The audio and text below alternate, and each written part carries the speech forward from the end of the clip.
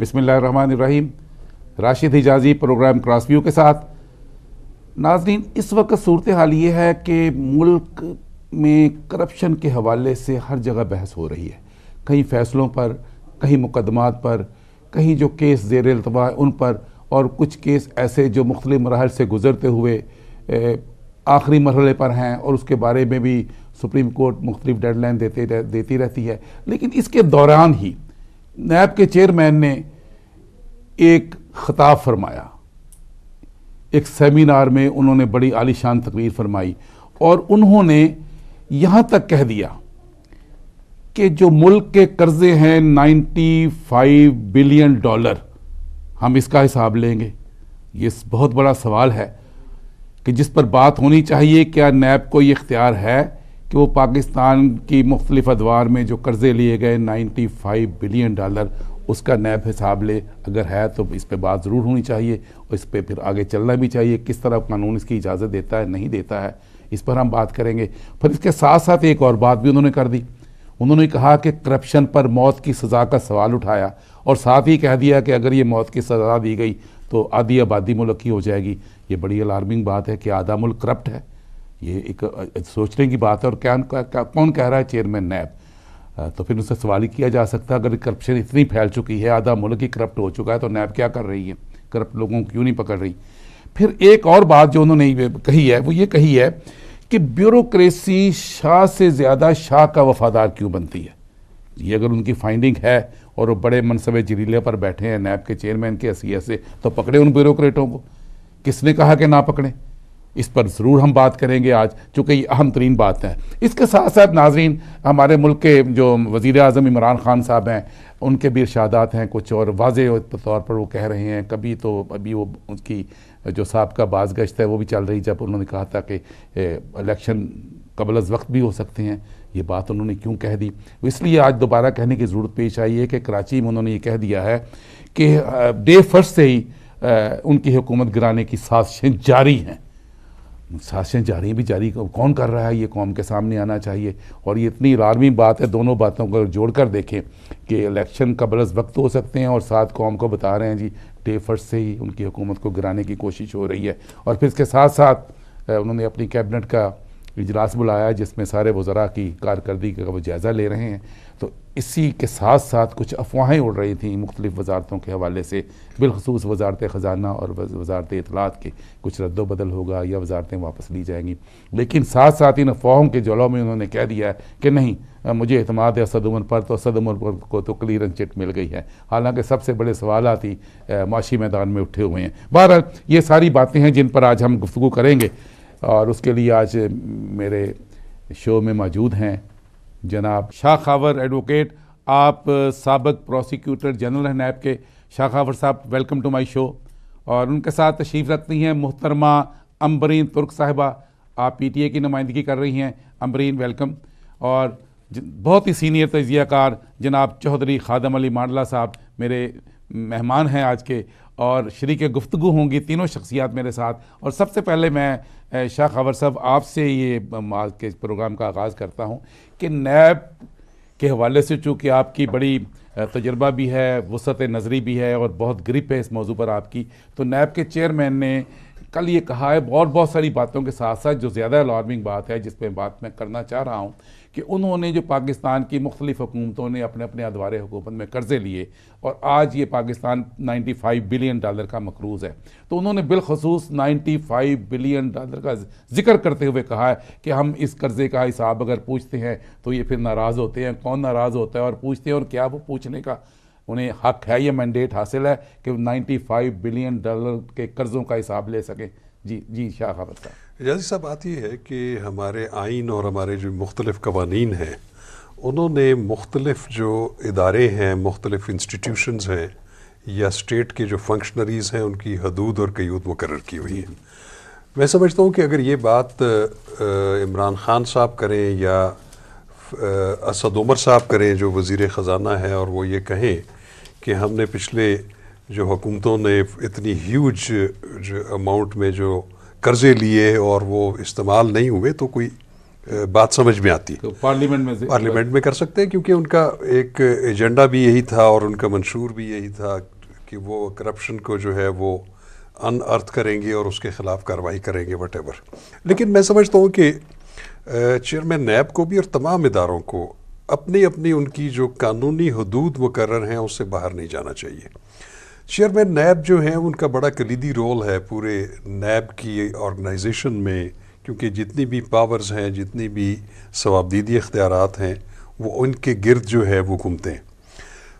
ان کا جو بنیادی مقصد ہے، وہ یہ ہے کہ کرپٹ اور کرپٹ پریکٹسز جو کہ ڈیفائنڈ ہیں NAB ordinance nineteen ninety nine میں، اور وہ بھی سیکشن نائن میں کہ وہ کن کن چیزوں کے بارے میں کاگریزنس لے سکتے ہیں، کن کا وہ اختیار رکھتے ہیں۔ تو اس میں ہم نے جو دیکھا ہے، اس میں جو ولفل ڈیفالٹ ہے بینکوں کا، اس کی حد تک تو وہ ایک شیڈیول افینس ضرور ہے کہ اگر کسی نے بینکوں سے قرضہ لیا ہے اور اس کو انہوں نے جان بوجھ کے اس کا ڈیفالٹ کیا ہے، وہ بھی اس صورت میں نیب اس کی کاگنیزنس لے سکتی ہے۔ جب تک اسٹیٹ بینک آف پاکستان اس کو اپروو کر کے اس کا ریفرنس نہ بھیجے نیب کو کہ آپ اس کی تحقیق کریں۔ تو اس کے علاوہ میں سمجھتا ہوں کہ یہ جو قرضے ہیں جو مختلف حکومتوں نے لیے ہیں، میری ناقص رائے میں یہ نیب کی کاگریزنس میں نہیں آتے کہ وہ کہیں کہ جی ہم اس کی تحقیقات کریں گے۔ ہاں ایک بات ضرور ہے کہ اگر فیڈرل گورنمنٹ یا کوئی بھی شہری اگر کسی پبلک آفس ہولڈر کے اوپر کوئی ایک شکایت لے آئے اور اس شکایت میں وزن ہو اور اس کی ویریفیکیشن کے بعد نیب یہ سمجھتی ہے کہ کوئی بھی پیسہ جو کہ گورنمنٹ کا تھا یا ایون اس کا قرضہ لیا گیا تھا اور وہ آگے جو ہے اس کی مس اپروپریشن ہو گئی ہے، اس میں غبن ہو گیا ہے یا وہ کرپٹ پریکٹسز کا جو ہے وہ شکار ہو گیا تو اس کی حد تک تو وہ لیکن شکایت کی صورت میں؟ شکایت کی صورت میں۔ لیکن اس شکایت کو ریفرنس کی صورت کیسے ملے ریفرنس کی صورت میں۔ اور بینکنگ میٹرز جتنے بھی ہیں وہ جب تک اسٹیٹ بینک آف پاکستان اس کو باقاعدہ این او سی نہ دے اس کی منظوری نہ دے نیب ان کو بھی جو ہے اس کی کاغذ اچھا یہ جو بین الاقوامی قرضے ہیں غیر ملکی قرضے ہیں جو مختلف اداروں سے آئی ایم ایف سے یا مختلف دوست ملکوں سے جو پاکستان نے لیے ہیں اور Pakistan ninety five billion dollar کا مقروض ہے۔ جی۔ یہ اس کے دائرہ کار میں آتا ہے اس کا حساب لینا۔ میرے خیال میں کہ یہ سیکشن نائن جو ہے N A O nineteen ninety nine اس میں اس کے دائرہ کار میں نہیں آتا۔ اس میں تین چار چیزیں ہیں۔ اس میں ہے کہ آپ نے کسی پبلک آفس ہولڈر نے اپنی جو نون سورسز ہیں ان سے زیادہ پرتعیش زندگی گزار رہا ہے۔ یا اس نے کوئی ایسے ایسٹس بنائے ہیں جو کہ جس کو اکاؤنٹ فار نہیں کر سکتا۔ یا اس نے مس یوز آف اتھارٹی کی ہے اپنے آپ کو فائدہ پہنچانے کے لیے یا کسی اور کو پہنچانے کے لیے۔ اور اس کا جو اینڈ جو بینیفیشل تھا وہ پبلک آفس ہولڈر تھا۔ تو یا پھر بینک ڈیفالٹ یا ایک چیٹنگ پبلک ایٹ لارج ہے جس میں جیسے کہ وہ ہاؤسنگ کوآپریٹو سوسائٹیز اور ان کو بھی ایک کور دیا گیا۔ تو ان چار چیزوں کے علاوہ میں نہیں سمجھتا کہ نیب کے پاس کوئی ایسا اختیار ہے جو کہ وہ وہ اختیار استعمال کرے جو ان کے شیڈیول اوفینسز میں نہیں ہے۔ صحیح۔ جی ترک صاحبہ میں آپ کی طرف آتا ہوں امرین کہ آپ یہ بتائیں چونکہ آپ کی پارٹی کی گورنمنٹ ہے اور آپ کی پارٹی کرپشن کے خلاف ہی ایجنڈا لے کر میدان میں آئی یا ان کو پذیرائی ملی۔ کرپشن کے خاتمہ کے لیے۔ تو اس وقت نیب اور حکومت کے درمیان جو انڈرسٹینڈنگ یا مس انڈرسٹینڈنگ جو بھی ہو، میں چاہوں گا کہ آپ اس کی رائے دیں کہ چیئرمین نیب کو اتنی اتنی بلند آہنگی کے ساتھ یہ کیوں بار بار بیانات دینے پڑ رہے ہیں؟ یہ کیوں ایسی بات نہیں ہو رہی؟ کہ آپ کے وزیر اعظم نیب وزیر اعظم اور نیب کے چیئرمین مل کر یہ کرپشن کے معاملات کو الٹیمیٹ اینڈ تک پہنچائیں جو عوام کی خواہشات ہے کہ اس ملک سے کرپشن کا خاتمہ ہو۔ تو ایک طرح کی بلند آہنگی کیوں نظر آ رہی ہے دو طرفہ؟ تھینک یو سو مچ یہ موقع میسر کرنے دینے کے لیے۔ شاہ خاور صاحب نے بڑی اچھی اس پہ روشنی ڈالی اور جو نیب کی لمیٹیشنز اس کی بات کی۔ میرے خیال میں چونکہ وہ نیب کے سابقہ پروسیکیوٹر رہ چکے ہیں تو ان سے جی۔ بہتر طریقے سے میں ایکسپلین نہیں کر پاؤں گی۔ باقی رہ گی کرپشن کے خلاف بات کرنے کی، تو ڈے ون سے ہمارا منشور کا جو حصہ تھا، وہ کرپشن کے خلاف ہی باواز بلند ہو کے نعرہ لگایا گیا۔ اور میں سمجھتی ہوں کہ اگر نیب بھی آج یہی بات کر رہا ہے، تو نو ڈاؤٹ کہ ایک پیج پر ہی ہیں، کیونکہ نیب ڈی جی نیب نے بھی کرپشن کے خلاف ہی بات کی۔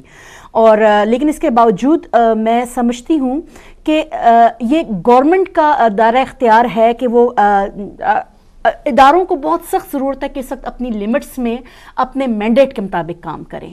کیونکہ اس سے حکومت کا جو ورکنگ ہے، وہ میں سمجھتی ہوں متاثر ہو رہی ہے اور اتنی با، ایک نان ایشوز کو آپ ایشو بنا دیتے ہیں اور وہ سارا دن آپ دیکھتے ہیں میڈیا پہ وہی خبریں چل رہی ہیں، وہی چیزیں چل رہی ہیں کہ جی ڈی جی نیب نے یہ کہہ دیا، کوئی نئی بات نہیں کی۔ نیب نیب ایک ایسا ادارہ ہے جو یقیناً کرپشن کے خلاف ہی تحقیقات کرتا ہے، کوئی نئی بات نہیں انہوں نے کی۔ لیکن نان ایشوز کو ایشوز بنایا جاتا ہے اور اس پہ بہت دیر تک بات کون بناتا ہے وہ ایشو میں یہی سمجھ میں یہی کہہ رہی ہوں نا کہ یہ گورنمنٹ کے جو اداروں کو ہے ان کو اپنی لمیٹیشنز میں لمٹس میں رہ کے کام کرنا ہوگا۔ اپنے مینڈیٹ کے مطابق کام کرنا ہوگا۔ اگر نیب اس وقت کرپشن کے خلاف کام کر رہا ہے تو ایگزیکٹلی اس کا یہی کام ہے۔ تو اس کو اتنا باواز بلند ہو کے بار بار کہنے کی میں نہیں سمجھتی کہ ضرورت ہے اور سوال اٹھانے کی ضرورت ہے۔ جی ایگزیکٹلی تو وہ میں یہی سمجھتی ہوں کہ جو کام ہے آپ کریں باقی رہ گی کہ آبادی میں اتنا اضافہ آبادی جو ہے وہ آدھی رہ جائے گی نہیں اس پہ بات کرتے ہیں۔ اتنے سال سے اگر نیب کا ادارہ کام کر رہے تو یہ آبادی اتنی بڑھ کیسے گی؟ کرپٹ لوگوں کی جی، آبادی جی، اتنی بڑھ کیسے گی؟ مان اللہ صاحب یہ دونوں معزز مہمانوں نے ترک صاحبہ نے گورنمنٹ کی وہ ترجمانی کی اور نیب کے جو معاملات ہیں ان کو بہت اچھی طریقے سے سمجھتے ہیں۔ سابق پروسیکیوٹر جنرل جناب شاہ خابر صاحب۔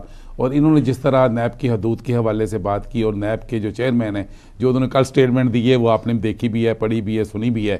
تو کیا کہتے ہیں آپ اس سلسلے میں؟ بسم اللہ الرحمن الرحیم بہت شکریہ جائز صاحب۔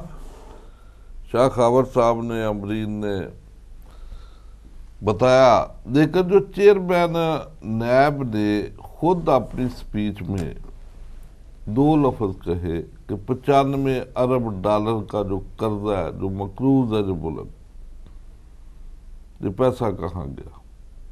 ہاں یہ ایک بات اور دوسری بات کہ اگر صحیح جو ہے ہم کام کرے تو آدھا ملک جو ہے وہ آبادی جو ہے آبادی کام ہو جائے۔ ہاں۔ تو میرے خیال یہ بھی اچھی بات کی کہ ایک طرف وہ پاپولیشن کے اوپر بھی اگلے دن اجلاس تھا کہ آبادی پہ کنٹرول کرو۔ تو میرا خیال اگر چیئرمین نیب کو یہ ڈیوٹی دے دی جائے تو میرا خیال اسے بھی جان چھوٹ جائے ملک کی۔ تو جو پہلے ایک چیئرمین نیب رہ کے گئے تھے فصیح صاحب شیخ آور صاحب جانتے ہوں گے۔ انہوں نے بھی ایک لکھ کے دیا تھا کہ دس ارب ڈالر سالانہ جو ہے وہ منی لانڈرنگ ہوتا ہے۔ لیکن عوام پاکستان جو پریشان ہے نا وہ ان تقریروں سے پریشان نہیں وہ بھی پرچی لکھ کر دے گا ہے لیکن عملی طور پر روکنی کس نے منی لانڈرنگ کہ ان کے الفاظوں کو بھی آج تک ہر بندہ ہر پروگرام میں ہر سپیچ کو اپنا وہ حصہ بنا لیتا ہے۔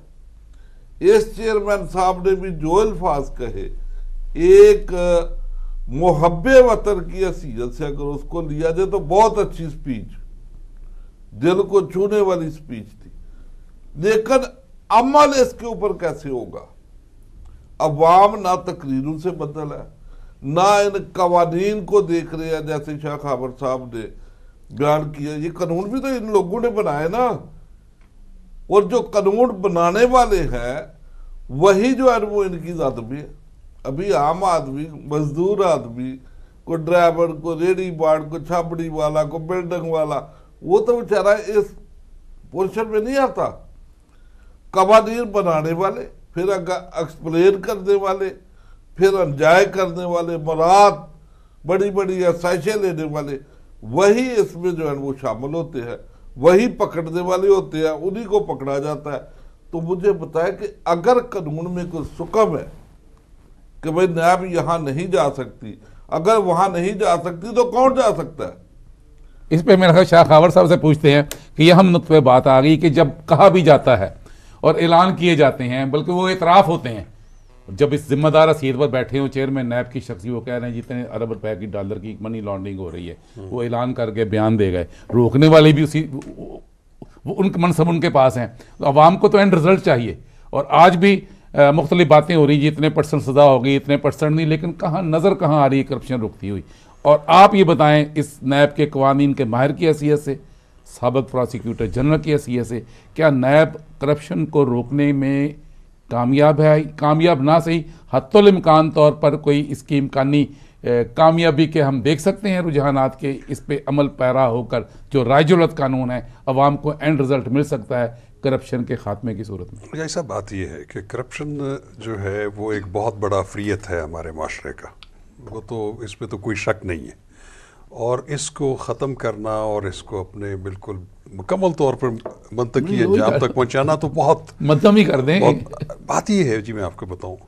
سب سے بنیادی چیز یہ ہے دو طرح کی کرپشنز ہیں۔ ایک کرپشن میگا کرپشن ہے جس میں ہمارے بہت زیادہ جو بیوروکریٹس آپ کہہ لیں آپ پبلک آفس ہولڈر جو کہ حکمران رہے ہیں ان کے بارے میں بڑی شکایات ہیں اور بہت ساری چیزیں سامنے بھی آ رہی ہیں کہ انہوں نے بہت وسیع پیمانے پہ اثاثہ جات اور دولت کا ارتکاز کیا۔ وہ ان پہ ہو رہی ہے۔ ایک کرپشن ہے نچلے لیول کی۔ وہ کرپشن کرتا ہے ایک چھوٹے لیول کا گورنمنٹ آفیسر یا آفیشل اب آپ اگر یہ دیکھیں کہ میں آپ کو ایک مثال دیتا ہوں کہ ایک پولیس اسٹیشن ہے یا پٹوار خانہ ہے۔ اب جو پٹواری ہے اس کا سکیل جو ہے وہ میرے خیال میں پہلے نو تھا اب گیارہ ہے شاید۔ ٹھیک ہے جی؟ اس کی اگر آپ بیسک پے سکیل دیکھیں تو اس کی تنخواہ جو ہے وہ میرے خیال میں پچیس ہزار سے زیادہ نہیں ہے۔ لیکن اس کے پاس اختیار بہت زیادہ ہے کہ وہ ایک قلم سے کسی کی تقدیر جو ہے وہ ادھر سے ادھر کر سکتا ہے۔ اسی طرح آپ پولیس اسٹیشن دیکھ لیں۔ ادھر کا جو station house officer S H O او وہ سولہویں گریڈ کا ہے۔ سولہویں گریڈ کی اگر آپ اگر اس کی تنخواہ اگر آپ دیکھیں تو میرا خیال میں وہ بھی پینتیس یا سینتیس ہزار سے زیادہ نہیں ہے۔ اس کی باقی مراد ڈال کے چالیس پینتالیس ہوگی۔ کیا ایک ایس ایچ او اور یا ایک پٹواری اس تنخواہ میں ان مراعات میں اپنا گھر چلا سکتا ہے جس کے اگر ایوریج دو بچے ہوں؟ انہوں نے اسکول میں بھی پڑھانا ہے۔ اس کو یہ بھی پروٹیکشن نہیں ہے کہ ان کے پولیس کے اپنے کچھ اسکول ہیں جہاں پہ ان کو سبسڈائزڈ ایجوکیشن ملتی ہو، یا وہ پورا تھانے کا جو اس کے نیچے دو سو، تین سو بندہ ہے، اس کو بھی اس نے خود چلانا ہے۔ گورنمنٹ چاہے وہ پروونشل گورنمنٹ ہے، چاہے وہ فیڈرل گورنمنٹ ہے، اس کو وہ اتنا فنڈ ہی نہیں دیتی کہ وہ ان کو، ان کی چھوٹی موٹی چیزیں یا اور ان کی ضروریات کو پورا۔ ایون اسٹیشنری تک اس نے خود کرنی ہے۔ تو آپ نے تو پھر ایک پٹواری کو اور ایک تھانے دار کو آپ نے تو اس کو خود راستہ بتا دیا ہے کہ تم نے خود پیسے جنریٹ کرنے۔ ان دو تین سو بندوں کو بھی چلانا ہے آپ نے اس کی لا اینڈ آرڈر سچویشن کو بھی بحال کرنا ہے آپ نے پروٹوکول ڈیوٹیز بھی دینی ہے آپ نے جرائم کا بھی کلا کما کرنا ہے۔ تو یہ چیز پاسبل نہیں ہے۔ میں یہ سمجھتا ہوں۔ کلا کما کرنے کے بجائے مجرموں کا ساتھی بن جاتا بات یہ بتاؤں کہ دیکھیں میں آپ کو بتاؤں۔ آپ جو بھی اس وقت لوگوں نے ملک جن ممالک نے ترقی کی ہوئی ہے جو ترقی یافتہ ملک ہیں انہوں نے پہلے جرائم کی روس کو روٹ کاز کو جو ہے وہ جانچا ہے۔ اس کے اوپر تجزیے کیے ہیں کہ وجہ کیا ہے یہ جرم کیوں ہو رہا ہے۔ ان حالات میں ان معاشی حالات میں آپ یہ توقع کر سکتے ہیں؟ میں نے تو آپ کو دو محکموں کی بات بتائی ہے۔ صحیح آپ کسی ایک محکمے کو دیکھ لیں۔ صحیح ادھر کا اب میرا ڈرائیور ہے میں اس کو بارہ ہزار روپے تنخواہ دیتا ہوں۔ مجھے پتا ہے کہ وہ بارہ ہزار میں اپنا بجٹ نہیں پورا کر سکتا۔ تو پھر ڈیفینیٹلی میں اس کو ایک رستہ بتا رہا ہوں کہ تم نے میزرمنٹ بھی کرنی ہے پیٹرول میں سے بھی تم نے میرا جو گاڑی ورک شاپ جائے گی وہاں سے بھی وہ کمیشن لے گا وہ تو اپنی پورا کرے گا۔ تو میں یہ کہتا ہوں کہ ان چیزوں کی طرف توجہ دینا بہت ضروری ہے۔ یس میگا کرپشن کی کوئی جسٹیفیکیشن نہیں۔ ٹھیک ہے۔ اس کو تو آپ آئرن ہینڈ سے ڈیل کریں۔ لیکن یہ جو چھوٹے لیول کی کرپشن ہے آپ ان کے معاشی حالات ٹھیک کریں ان کو معاشی طور پہ امپاور کریں۔ اس کے بعد اگر وہ کرپشن کرتے ہیں تو deal with them with the iron Shah خبر صاحب، آپ نے دو پوائنٹ اٹھائے ہیں، ایک میگا کرپشن کے، ایک چھوٹے، چھوٹی سطح پر جو اختیارات تو بہت وسیع ہیں جن لوگوں کو دیے گئے ہیں سرکاری سطح پر، تنخواہیں تھوڑی دی جاتی ہیں۔ وہ نچلی سطح پر کرپشن کا باعث بن رہے ہیں۔ تو میں دونوں سوالوں کو بائفیکیٹ کرتا ہوں۔ امبری ترک صاحب، آپ کے پاس میں لے کر آتا ہوں، یہ پٹواری تھانے دار، چونکہ گورنمنٹ آپ کی ہے۔ ان پٹواری تھانے دار اس طرح کے دوسرے لوگ جن کے پاس اختیارات ہیں، تنخواہیں کم ہیں اور جیسے شاہ خاور صاحب نے کہا کہ کرپشن کے راستے بھی دکھا دیے کرپشن اختیارات بہت زیادہ دے کر پیسے کم کر کے۔ تو چونکہ حکومت آپ کی ہے اس معاملات کو آپ کس طرح ڈیل کرتی ہیں؟ دوسرا سوال جو میگا کرپشن کا ہے جو حکمرانوں کی کرپشن ہے اس پر ماندہ سے کمنٹ کریں گے۔ تو آپ ذرا بتائیں اس پر کہ آپ کی حکومت یہ نچلی سطح پر جو کرپٹ ہو رہے پٹواری تھانے دار کی سطح پر کس طرح کرپشن کو ختم کر سکتی ہے؟ پٹواری اور تھانے دار کی جو بات آپ نے کی اگر ہم اس میں اس وقت کے پی جو پہلا صوبہ ملا پاکستان تحریک انصاف کو، ہم اس کا ماڈل اٹھا کے دیکھیں تو ایگزیکٹلی انہی دو چیزوں پہ فوکس کیا گیا، ایک پٹواری پہ اور ایک تھانہ کلچر اور تھانہ پولیس پہ۔ اور میں سمجھتی ہوں کہ بہت امپروومنٹ آئی کے پی کا اگر ہم ماڈل اٹھاتے ہیں گزشتہ پانچ سالوں میں۔ اور لیکن جہاں پہ ہم پنجاب پولیس کی بات، اگر پولیس کی بات کریں تو میرے خیال میں کہ پنجاب پولیس جو ہے اٹ ول ٹیک ٹائم کیونکہ پنجاب پولیس کو بیس بنا کے حکومتوں نے بڑا یو نو اپنا گیمز کی۔